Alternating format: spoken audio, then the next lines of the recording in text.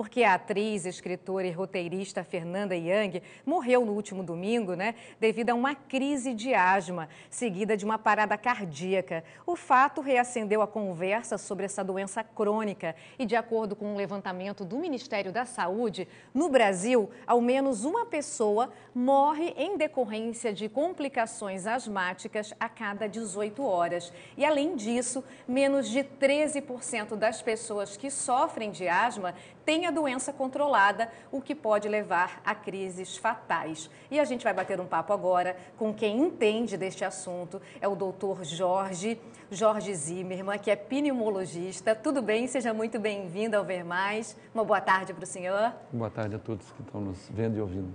Depois da morte dessa atriz, reacendeu a conversa sobre essa doença, que é uma doença antiga, né? Para o nosso público entender, doutor, a asma é o quê?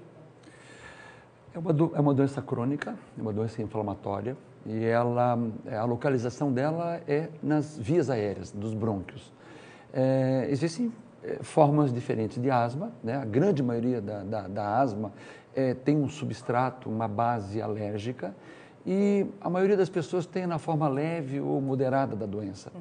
É uma doença assim, incurável, então crônica incurável, mas é perfeitamente tratável e a pessoa que tem acesso ao médico ou à medicação que existe hoje disponível, inclusive na rede, na rede pública, ela dificilmente vai necessitar internar ou muito menos correr o risco de, de morte. O diagnóstico da asma, como que ele é feito, doutor? Então, o diagnóstico é feito numa, numa história clínica, os sintomas, que é uma, é uma dificuldade respiratória, então a pessoa tem falta de ar, tosse, chia o peito, tem um caráter recorrente, associada a um histórico é, pessoal, talvez ela tenha uma rinite ou tenha alergia a um medicamento ou a uma, um alimento, reforça esse pensamento que seja um, uma asma alérgica, um histórico familiar, né?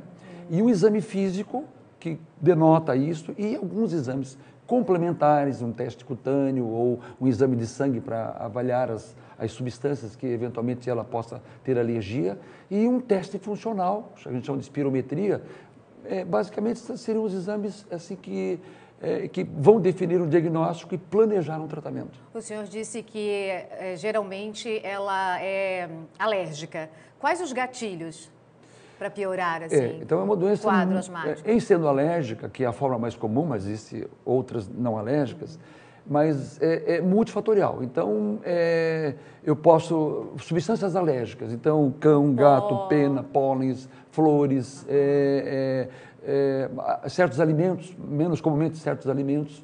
É, outros fatores que não sejam fatores é, alérgicos, mas então é, odores fortes, cera, tinta, perfume, é, fumaça de cigarro. Né, é. a pessoa aí é, pode agravar se a pessoa já tem uma outra doença de base, por exemplo, é um tabagista, fuma, né, determinadas atividades profissionais, poluentes poderiam agravar essa doença genética, ela herdou isso, né, então tem um fundo genético e mais a relação com o ambiente que ela vive. Tem uma idade assim que a asma é mais comum ou não? Pode variar? É, ela normalmente se apresenta na infância, na adolescência, é a idade mais comum dela, dela iniciar, mas é, a gente vê com certa frequência pacientes de mais idade, pacientes com 50, 60, 70 anos, é, abrindo um caso de asma de aparecimento tardio.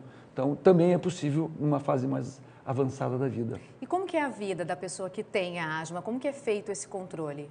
Se a pessoa é, tiver a, a, disponibilidade e de se tratar, ela vai ter uma vida praticamente normal. A, exemplo do que de um hipertenso que toma o seu remédio, de um indivíduo que tem colesterol, triglicerídeos, ele vai fazer o tratamento e vai ficar sem sintomas, né? Claro que existem níveis de gravidade. Tem pessoas, por exemplo, 5% das pessoas que têm asma é, tem a sua forma grave mas é 5%. A grande maioria não. Então ela teria que procurar um médico, primeiro, definir, fazer o diagnóstico, isso realmente é uma asma, e daí se tratar. O que ocorre na prática é que as pessoas elas, é, elas se automedicam e, e, usam medicamentos de alívio, a gente chama de... de Aí de mascara ter... os sintomas. É, ela só toma para aliviar o sintoma no momento que ela está doente. E ela não faz o tratamento de base, o tratamento preventivo. Então eles ficam tomando corticoides via oral, que é um, é um perigo muito grande, ficam usando bombinhas. Isso a gente vê muito as bombinhas. Todo asmático usa bombinha ou não? Como que acontece? A terapia inalatória, a gente evita a palavra bombinha, uhum. porque lembra bomba e, e dá uma falsa impressão de que isso é uma coisa ruim. Na verdade, a terapia inalatória, que tem, existem vários dispositivos, é, são a terapia de escolha, o tratamento de escolha. Quando eu dou um remédio que ela vai inalar, ela está usando 40 vezes menos droga do que usasse o mesmo produto na sua forma, é, seja líquida ou comprimido. Então, sempre dar preferência à, à medicação inalatória. A gente pode ter dificuldade com as pessoas mais idosas, com as pessoas, com as crianças, mas mesmo assim, sempre o, o, o dispositivo inalatório é a melhor forma de tratar e prevenir a bronquite, a asma. Tem uma participação do nosso público, pode colocar na tela para gente? O recadinho da Claudete. Só tenho a agradecer ao Dr. Jorge. Quando cheguei a Itajaí há 15 anos, ele me tratou e hoje eu não tenho mais asma. O elogio da Claudete para o senhor. Eu poderia dizer para ela, Claudete, que ela pode não ter mais sintomas de asma, mas a doença está com ela. Está bem controladinha, é, é, mas está ali. É o urso que está hibernando. Uhum. Ele está lá. Então ela se cuide, né?